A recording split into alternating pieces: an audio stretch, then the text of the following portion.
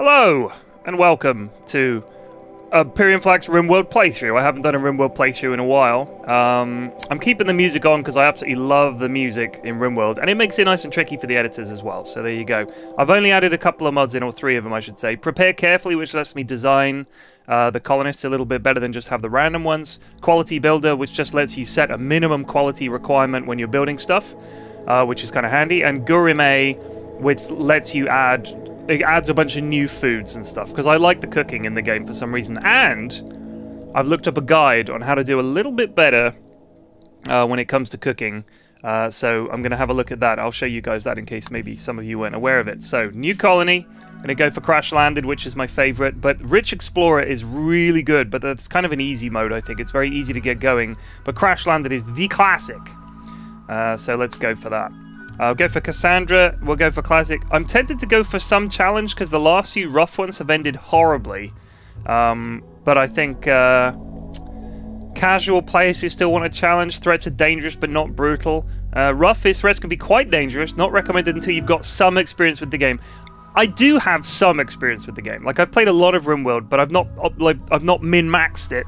I've just kind of clowned around and played it on stream a lot. So uh, let's go for rough anyway. Rough Cassandra. Uh, random seed. I, I, always take the random seed and add a few letters and numbers. And uh, let's go for 100% globe coverage. This will take a wee second to generate, but fuck it. We're doing it anyway. Alrighty. Here's our planet. Um, I'm still trying to figure out exactly what all these towns mean. It doesn't seem to matter where I place myself. I still get raided. But I think it comes into effect uh, when it comes to traveling. Um, you can travel sort of overland uh, by caravan, which I still haven't done yet. I'm quite I, there's a lot of trepidation around it for me, but uh, I'm gonna go for a, a, a wooded area with hills. Uh, I like having hills and I like having trees because I tend to go early on. I tend to go for um, wood, a, generally a wood-fueled economy uh, that works for me anyway. So this will be sort of temperate forest with large hills. Um, sandstone and slate, 50-day growing period. So when it says this, when it says growing period 50 days, 11th of winter till the 1st of winter, I think that means your stuff only grows that year, that time, or, or that's when it can't grow? I'm not sure. Um, it's quite hot in the summer. Year-round growing temperature. Granite, limestone, sandstone. A year-round growing period. Gets hot in the summer. Doesn't get too cold in the winter. Decent amount of rainfall. Large hills. Forest of deciduous trees. Let's try it. Let's go for it. Alright, so I can prepare carefully now, um, which is, I think, kind of interesting. Um, it certainly it lets you design your people. Um, otherwise, I tend to just sit here randomizing for like quite a long period of time. Um, I mean, you do tend to end up with some pretty bizarre people. This person is a ranch owner, amazing with animals. We could train animals in like seconds, but she's an alcoholic and she's got a blocked artery, and it's no good. It's no good. This is a mute mathematician, incapable of any kind of carrying, any kind of social stuff, cannot use any kind of weapon, and has asthma. I mean, you can see how this gets difficult, right? Uh, so let's go for Mason Storm. He's a teacher. He's actually pretty good. But he, the things he's good at are not good early on, you know? You need people to sort of get good early on. So, And we need a bodega, obviously. So let's go for prepare carefully. Um, and we'll call this guy Bodega. What? I don't know what Bodega's last name is, actually. We'll just have to call him Bodega, Bodega, Bodega. He is, uh, I think, I think Bodega's around 40. Much like me. Childhood, he was definitely an abandoned child. And uh, adulthood, 100% he was some kind of bodyguard? No, he's not a bodyguard. Castaway, math torturer. My goodness. Oh, you thank God there's a drop-down list. He was kind of a soldier, wasn't he? Urbworld sex slave. My goodness. Is there assassin? Is that one of them that you could be? Assassin. Wow. so, not great, actually. Can't do anything. He definitely does. That is definitely not his haircut. He's not. He's not a skinny guy. He's a bald man. That's why he wears the hat. This is not canon. This is not canon. I hasten to add. I've seen too much, partner. So, alright, this is no good. So you can't even add ones in. You've got to have a random... And then I guess you can add points from there. Well, he's a crack shot, we know that. He's good in melee, but not great. He's not very sociable. He ain't good with animals. Uh, construction, I think Bodega could build, do some buildings. Maybe a little bit of farming if he was put to it. He could do some mining. He's not very artistic. Oh, I can't change that. He's alright at research. He can't do no crafting. That's a shame. I kind of want someone who's got access to everything, honestly. I guess apart, maybe apart from medicine. So he could. I want to see what Bodega makes if he makes some artwork. Um, he can cook a tiny amount.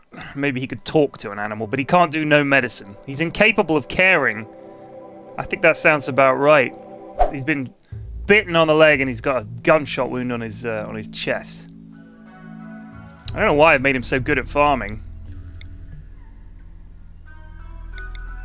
He's not a careful shooter. He's not trigger happy either. He is, uh...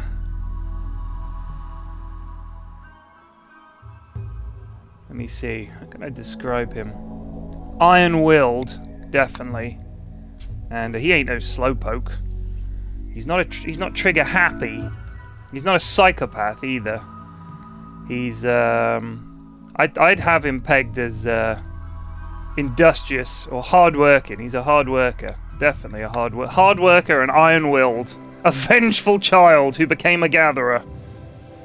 I reckon this would do for a bodega. I mean, you may think it's OP, but uh, fuck you, it's my playthrough anyway. Frankie Hoover. I like that name. Frankie. Let's go for a random backstory. Wreckage explorer into civil servant. Need a cook. Bodega needs a cook and someone who could maybe do some doctoring. She loves to cook. Kind of person that Bodega would get. Very sexist, but he's done it anyway. Um, she's pretty sociable. She's pretty. Kind of volatile. She's on a hair trigger. First to break in any tough situation. That sounds about right. Relations. She is uh, Bodega's... Um, huh. My fiance. That's his fiance, Frankie. Nice. She's only 26. Oh, Bodega, you dog. Who else would Bodega know? We need a bartender. Floop. Floop's come to come with him. What was Floop's background? He was a uh, son of a blacksmith, and uh, then he became a barkeep. I'm sure, but yeah, bartender. There we go. His name is uh, Slim Floop. Big fan of Bodega. He is definitely not a teetotaler. He is a brawler. And uh, he is... Let me see. What else did he say about Floop? Someone that's good at listening, like a, a classic bartender type, you know? staggeringly ugly. His face looks like a cross between a drawing by an untalented child, a malformed fetus in a jar of formaldehyde, and a piece of modern art. Others must exert conscious effort to look at him while conversing. Good God. No, no, no. That's no good. I would say that uh, as a barman, he's going to be a night owl. Floop's, I think Floop's a big old fat guy. It's a big old guy. Yeah, Floop. That could be Floop. That could be him. Slim Floop. Oh, that's uh he's a he's a reasonable shot, you know, he can he can shoot, but he's more into the melee. Very good at social. He's a bartender for goodness sake. He ain't one for animals. He's learned a little bit about medicine along the way. He's a heck of a cook. Uh, he can build pretty well. He, he can grow. He has had to grow hops. He's a, basically a farmer. He ain't so good at mining. He loves art, but he's terrible at it. These guys are all OP, but fuck it. Starting resources and equipment. Oh my goodness. Let's... Wow, we could add something in. Or we could just go with it. I'm trying to think, what, what would Bodega bring with him? He'd bring some beer. Where's the beer at? Damn, it's not in there. No beer? Dang. Can't believe it. I don't believe it. I do not believe it. It's medicinal beer. Yeah, I knew it'd be on here. Bodega's medicinal beer. Alright, that may seem a little OP, but I just wanted to add a bit of character to the start of the game. The three of you awake in your cryptosleep sarcophagi to the sound of sirens of ripping metal. You barely get to the escape pods before the ship is torn apart. Sometime later, you land on this unknown rim world. As pieces of the shredded starship fall around you, you start making plans to survive. Cue the guitar music!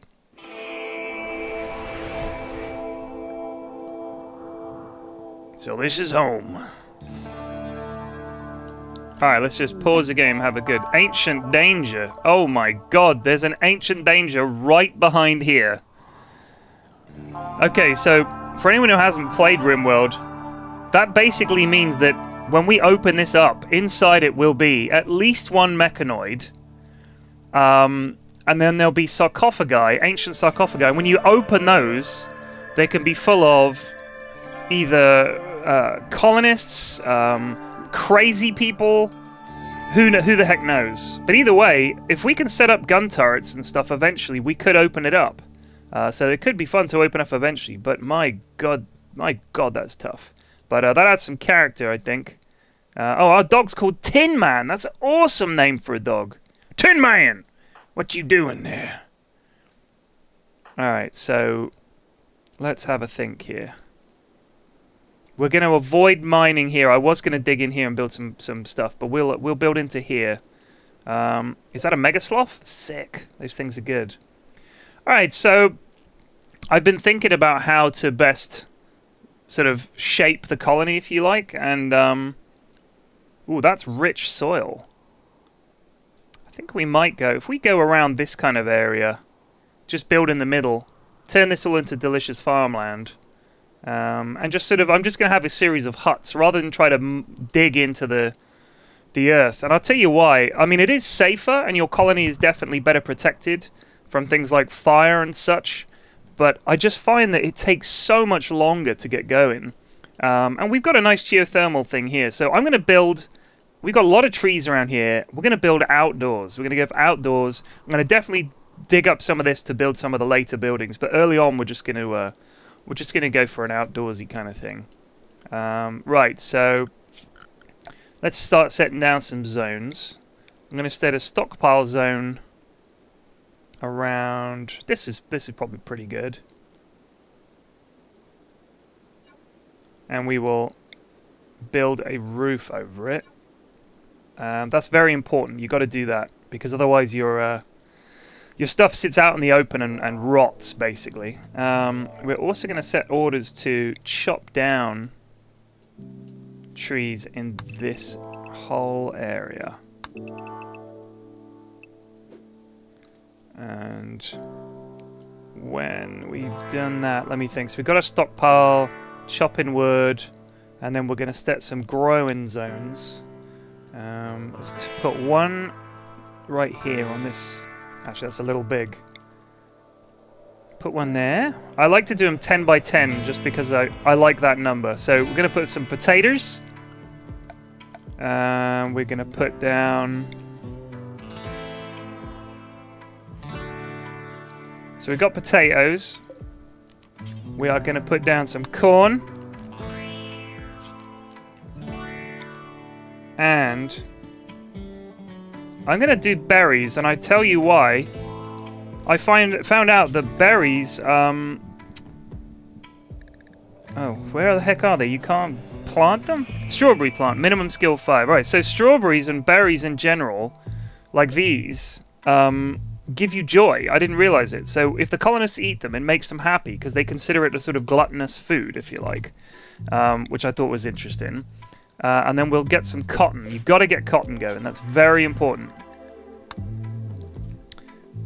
Um, because you can make clothes and stuff out of it. So we've got, we're going to have some some little farmland going on. We've got it on this nice rich soil, so that should help a lot of it grow.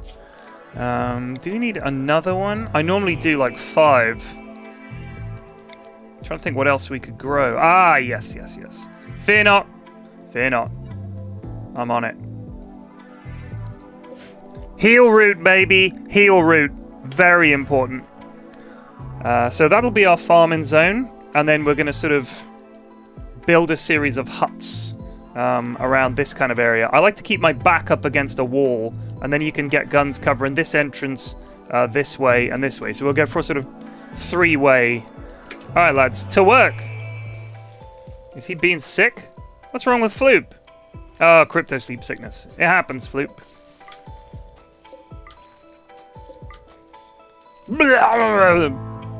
Don't worry none, partner. Oh, Bodega, you forgot to equip your famous rifle. Floop, uh, you're going to be the brawler.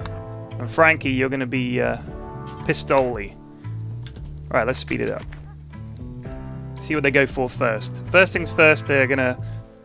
Floop and Bodega are to start planting, and they should be pretty good at it. So let's just set... One of the other things you want to set is um, sleeping spots. If we set them under here, maybe we'll sleep under the uh, under the roof. And then tomorrow we can start building. So I wonder what the growing rate is on rich soil. Fertilization 140%, that's good. So, oh, did Floop just come on to my gal? Attempted to woo Frankie? Damn it, Floop. What the? Floop is my husband? What the? Oh my god! I fucked up! Floop and Bodega are married! Alright, so be it. They're married. But by God, Bodega's gonna leave Floop for Frankie, I swear to God. I must have got drunk, a little too drunk that time, Floop, my boy. I go for manual priorities. Um, set firefighting to 1. Uh, I set patient to 1. I set doctoring to, to 2, because it is very important. Um, I set bed rest to, to 2 because I would rather they firefight rather than lie in bed just because they're feeling a bit poorly. I set flick to 1 so that just when I've told them to do it, they do it right away. Um, at the moment, growing is very important. This is good. We're, we're sowing all these fields nice and quickly, which is good. Floop does not like Bodega, his husband. Affair. Oh yeah, I'm having an affair with uh, with Frankie. Sorry, sorry about that. Sorry, Floopy, my old boy. but Bodega's got to do what Bodega's got to do. So you can see the difference. The uh, the potato plant not on rich soil is at 26%, and the one on rich soil is 3% higher. Whoopie-doo!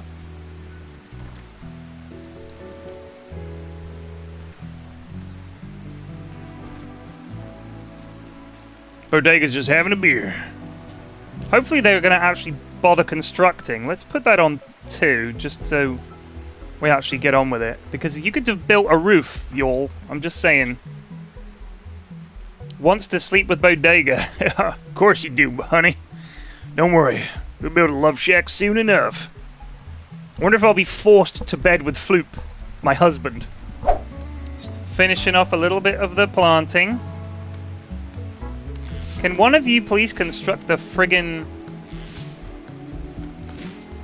God damn, it's tough. I don't know why I can't tell them to, uh... Bodega, could you just finish off building the friggin' roofed area, please?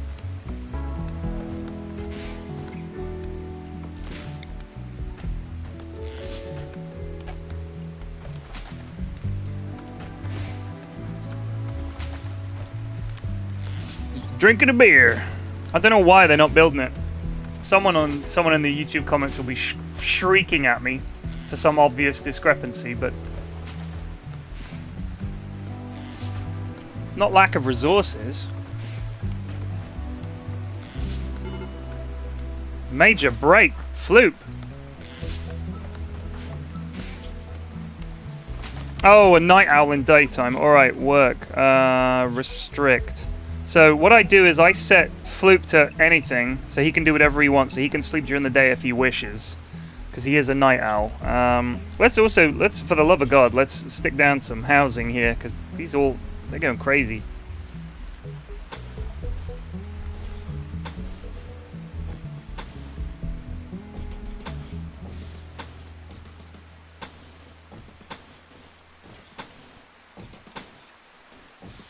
Oh shit. Must be symmetrical.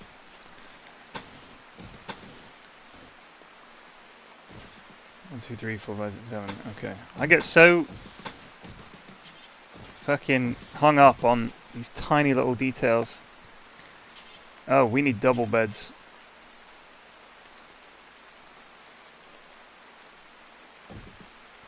So I've been reading stuff about how it defines spaciousness and how it defines uh, beauty, and there's a whole bunch of restrictions. Um, visitor, a sickly child named Ed Vitoli. I'm a sickly child. He was a sickly child, knows a lot about medicine. Shit, if we'd almost finished these bedrooms in time, they all could have slept inside, but now they're going to be sad. The sickly child left. She took one look at our shithole and left. Can't blame her. Cannot blame her. What should we call it? Our faction is Bodega's boys and gals. Bodega's. Bodega's. Friends. No. Bodega's chums, pals, acquaintances. Bodega's town. Ah, oh, that's, that's no good. That's the name. Our faction is Bodega's people. No, Bodega's posse. We're a posse. And we're gonna name it after my favorite bar, the Pulsar Sex Pit.